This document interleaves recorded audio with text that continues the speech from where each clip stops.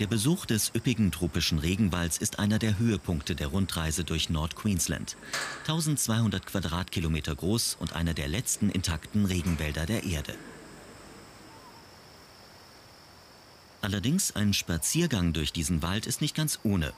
Der Wald ist nahezu undurchdringlich. Er birgt Gefahren, giftige und brennende Pflanzen und gefährliche Tiere.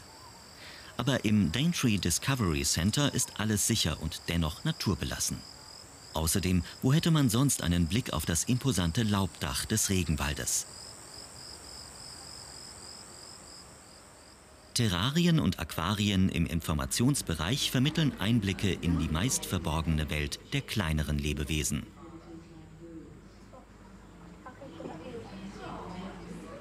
Baumfrösche und andere Reptilien erwecken die Neugier.